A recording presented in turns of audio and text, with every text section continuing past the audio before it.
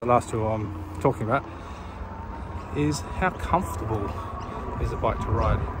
And that's why your pre-check is important because you want to make sure that seat's comfortable, otherwise you're going to give it a bad review and it's not suited to you. So is the seat comfortable? Now sometimes these comfort seats are actually less comfortable than the mountain bike ones. And the reason is people sit on them a bit too long.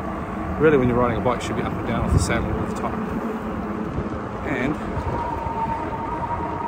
last thing that you want to make sure is, is it fun to ride?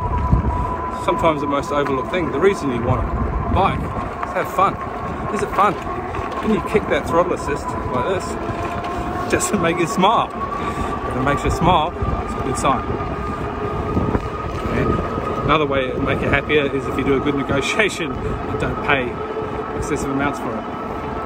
So yeah, we're, those are the 10 things that I look for test riding a bike. Hope you enjoy.